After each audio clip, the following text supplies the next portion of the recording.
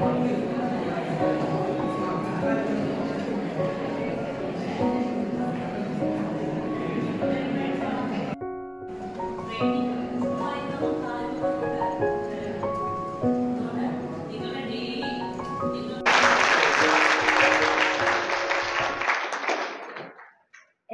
നമസ്കാരം.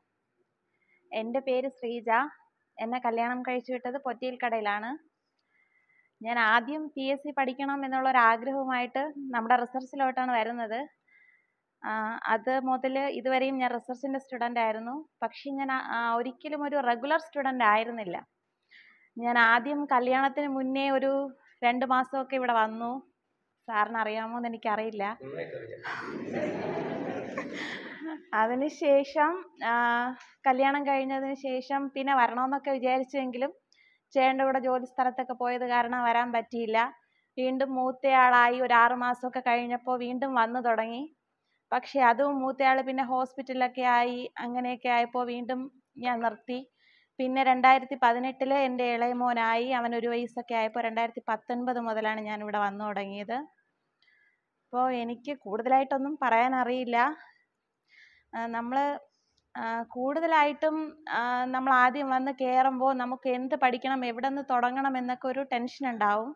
അപ്പോൾ നമ്മൾ പ്രധാനമായിട്ട് ഫോക്കസ് ചെയ്യേണ്ടത് നമ്മുടെ നോട്ട്ബുക്കിനെയാണ് അതായത് ഇപ്പോൾ റിലേറ്റഡ് ആയിട്ട് ഇപ്പോൾ എന്തൊക്കെയാണ് ചോദിച്ചു വരുന്നത് നമ്മുടെ തൊട്ട് മുന്നത്തെ ക്വസ്റ്റ്യൻ പേപ്പറിൽ എന്തൊക്കെയാണ് ചോദിച്ചത് എന്നൊക്കെ അടിസ്ഥാനമാക്കിയിട്ടാണ് നമ്മുടെ അധ്യാപകർ നമുക്ക് നോട്ട് തരുന്നത്. അപ്പോൾ അത് ആ ഒരു സബ്ജക്റ്റിനെ ബേസ് ചെയ്തിട്ട് അതിന്റെ അടിസ്ഥാനം മുതലും ഏറ്റവും പുതിയതായിട്ട് ചോദിച്ച ക്വസ്റ്റ്യൻ വരെയുള്ള എല്ലാ ഫാക്റ്റും അതിലുണ്ടാവും. അപ്പോൾ നമ്മൾ നോട്ട്ബുക്ക് ഏറ്റവും കൂടുതലായിട്ട് പ്രാധാന്യം കൊടുത്ത് പഠിക്കുക. പിന്നെ എക്സാം എഴുതുക. എക്സാം എഴുതുമ്പോൾ ഒരിക്കലും നമുക്ക് അറിഞ്ഞൂടാത്ത എഴുതണ്ട. പക്ഷേ നമ്മൾ ചോദിച്ചെഴുതാൻ നിൽക്കണ്ട മാർക്ക് കുറഞ്ഞാലും കുഴപ്പമൊന്നുമില്ല. എത്ര മാർക്ക് കുറവായിരുന്നാലും അത് നമുക്ക് പിന്നെ കൂടി കൂടി വരുമ്പോൾ നമുക്കതൊരു കോൺഫിഡന്റ് ആവും. നമ്മുടെ നോട്ട്ബുക്ക് വായിച്ച് വരുമ്പോൾ നമുക്ക് ഓട്ടോമാറ്റിക്കലി മാർക്ക് കൂടുതൽ കിട്ടിക്കോളും. നമ്മുടെ സ്വപ്നങ്ങളെ നമ്മൾ തന്നെയാണ് കൊണ്ടുപോവേണ്ടത്. അതിനെ ഇപ്പോൾ നമ്മുടെ മാതാപിതാക്കൾക്കോ നമ്മുടെ കൂടെ നിൽക്കുന്നവർക്കോ നമ്മളെ സപ്പോർട്ട് ചെയ്യാൻ മാത്രമേ കഴിയുള്ളൂ. പക്ഷേ നമ്മൾ സ്വപ്നം കാണേണ്ടതും അതിനുവേണ്ടി ഇറങ്ങിത്തിരിക്കേണ്ടതും അതിനുവേണ്ടി സ്വയം പ്രയത്നിക്കേണ്ടത് നമ്മൾ തന്നെയാണ്. പിന്നെ എനിക്ക് പറയാനുള്ളതെന്ന് വെച്ച് കഴിഞ്ഞ് കഴിഞ്ഞാൽ എക്സാം അത് നമ്മൾ എത്രത്തോളം റിപ്പീറ്റ് ചെയ്തുകൊണ്ടിരിക്കുമോ അത്രത്തോളം വേഗത്തിൽ നമ്മുടെ മൈൻഡിൽ ആൻസർ വന്നുകൊണ്ടിരിക്കും എന്റെ ഈ ഒരു എക്സാമിൽ തന്നെ ഞാനൊരു എൺപത്തഞ്ച് മാർക്കോളം പ്രതീക്ഷിച്ച് ഞാൻ കണ്ണും പൂട്ടിയാണ് വന്നത്. പക്ഷേ ഞാൻ പിന്നെ നോക്കിയപ്പോൾ എനിക്ക് യഥാർത്ഥത്തിൽ മാർക്ക് അറിയാൻ കഴിഞ്ഞിട്ടില്ല. പക്ഷേ പിന്നെ ഞാൻ നോക്കിയപ്പോൾ എനിക്കൊരു എഴുപത്തഞ്ച് മാർക്കോളേ ഉള്ളൂ. ഞാൻ നോക്കിയപ്പോഴത്തേനും എനിക്ക് നന്നായിട്ട് അറിയാവുന്ന ഒരുപാട് ക്വസ്റ്റ്യനൊക്കെ ഞാൻ തെറ്റിച്ചിട്ട് വന്നു. പക്ഷേ എനിക്ക് ഇവിടെ വന്നിട്ട് പെട്ടെന്ന് നോക്കിയപ്പോഴും എനിക്ക് മനസ്സിലായില്ല. വീണ്ടും ഒന്നുകൂടെ ക്വസ്റ്റ്യൻ വായിച്ചപ്പോഴാണ് ആ ക്വസ്റ്റ്യന്റെ വ്യത്യാസം എനിക്ക് മനസ്സിലാവുന്നത്. അപ്പോൾ എനിക്ക് വീണ്ടും വീണ്ടും പറയാനുള്ളത് നമ്മൾ കൂടുതലും ക്വസ്റ്റ്യൻ വർക്കൗട്ട് ചെയ്യുക എന്നുള്ളതാണ്. അതാണ് നമ്മുടെ ഏറ്റവും വലിയ അടിസ്ഥാനം. നോട്ട്ബുക്ക് പഠിക്കുക ക്വസ്റ്റ്യൻ വർക്കൗട്ട് ചെയ്യുക പത്ത് മണിക്കൂർ എക്സാം എഴുതുക. എക്സാം എഴുതുമ്പോൾ തന്നെ നമുക്ക് ഓട്ടോമാറ്റിക്കലി നമ്മുടെ മൈൻഡിൽ ആൻസർ വരുമ്പോഴത്തേനും അത് നമുക്ക് പിന്നെ ഒരു അനുഗ്രഹമായിട്ട് മാറും. പിന്നെ പഠിപ്പിച്ച അധ്യാപകരെ കുറിച്ച് പറയുകയാണെങ്കിൽ നമുക്കിവിടെ കൂടുതലും നമ്മുടെ അയൻ അയൻ സാർ ഉണ്ടോ?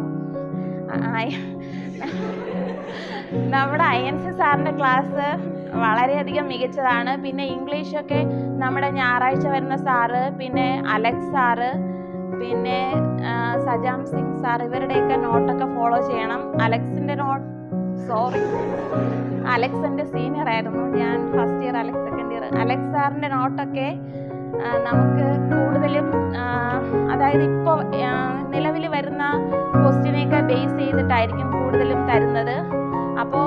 നല്ലതാണ്. പിന്നെ നമ്മുടെ അമൽ സാറിന്റെ നോട്ട്. പിന്നെ എനിക്ക് കൂടുതൽ ആൾക്കാരെയും പേരറിയില്ല. അപ്പോൾ എല്ലാവരുടെയും നോട്ട് പഠിക്കുക. നിങ്ങൾ എല്ലാവരും എപ്പോഴും കോൺഫിഡന്റ് ആയിരിക്കുക. അതായത് സാർ എപ്പോഴും പറയുന്ന ഒരു വാക്കാണ് അത് പക്ഷേ എപ്പോഴും സത്യമാണ്. നിങ്ങളാരും വിഷമിച്ചിരിക്കരുതെന്ന് എനിക്ക് പറയാൻ പറ്റും. ഞാൻ ഒരിക്കലും ഒരു ബെസ്റ്റ് സ്റ്റുഡൻ സ്റ്റുഡന്റ് അല്ല. ഞാനൊരു ആവറേജ് സ്റ്റുഡന്റ് ആണ്. അപ്പോൾ നിങ്ങളെയൊക്കെ വെച്ച് നോക്കുമ്പോൾ ഞാൻ ഒന്നുമല്ല. നിങ്ങൾ എല്ലാവരും മികച്ചതാണ്. അപ്പോൾ എനിക്കൊരു ജോലി കിട്ടിയിട്ടുണ്ടെങ്കിൽ നൂറ്റി ഒന്ന് ശതമാനവും നിങ്ങൾക്കൊരു ജോലി അത് മസ്റ്റായിട്ടുള്ള ഒരു കാര്യമാണ്. പിന്നെ നമുക്ക് സാർ എപ്പോഴും പറയും ഒരു നൂറ് വാതിൽ മുന്നിലുണ്ടാവും ഒരാൾക്ക് ഒരു വാതിൽ മുട്ടുമ്പോൾ കിട്ടും വേറൊരാൾക്ക് അഞ്ച് വാതിൽ മുട്ടേണ്ടി വരും.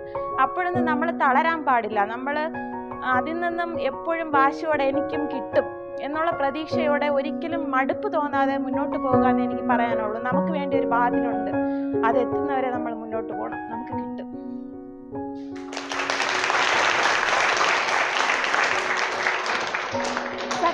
എനിക്ക് കമ്പൈൻ സ്റ്റഡിയെ കുറിച്ച് ഞാൻ ഒന്നും പറഞ്ഞില്ല. എനിക്ക് ഏറ്റവും പറയാനുള്ളത് എനിക്ക് വീട്ടിൽ വെച്ചിട്ട് കൂടുതലൊന്നും പഠിക്കാൻ പറ്റിയിട്ടില്ല. എനിക്ക് എന്തെങ്കിലും കിട്ടിയിട്ടുണ്ടെങ്കിൽ അതിന്റെ കമ്പൈൻ സ്റ്റഡി ഗ്രൂപ്പിൽ നിന്നാണ് കിട്ടിയിട്ടുള്ളത്. ആദ്യം ബിവിയുടെ നേതൃത്വത്തിലായിരുന്നു. അപ്പോൾ ബിവി ചേച്ചിയൊക്കെ എനിക്ക് ഒരുപാട് സഹായിച്ചു തന്നിട്ടുണ്ട്. പിന്നെ അതിനുശേഷം മായ ആതിര സൂര്യ ശോഭ ഇവരൊക്കെ ചേർന്ന കമ്പൈൻ സ്റ്റഡി ഗ്രൂപ്പിൽ നിന്നാണ്. കാരണം അവരെപ്പോഴും എന്റെ അടുത്ത് പറയും ചേച്ചി പഠിക്കുക പഠിക്കുക പഠിക്കുക അവരിൽ നിന്നാണ് എനിക്ക് എന്തെങ്കിലും കിട്ടിയിട്ടുള്ളത്. കമ്പൈൻ സ്റ്റഡി നമ്മുടെ പഠിത്തത്തിന്റെ ഏറ്റവും മുതൽക്കൂട്ടാണ്. കാരണം നമ്മൾ റിപ്പീറ്റ് ചെയ്ത് നമ്മൾ ഒരാൾക്ക് പറഞ്ഞു കൊടുത്തുകൊണ്ടിരിക്കുമ്പോൾ അതിൽ നിന്ന് നമുക്ക് ഒരുപാട് മനസ്സിലാക്കാൻ പറ്റും.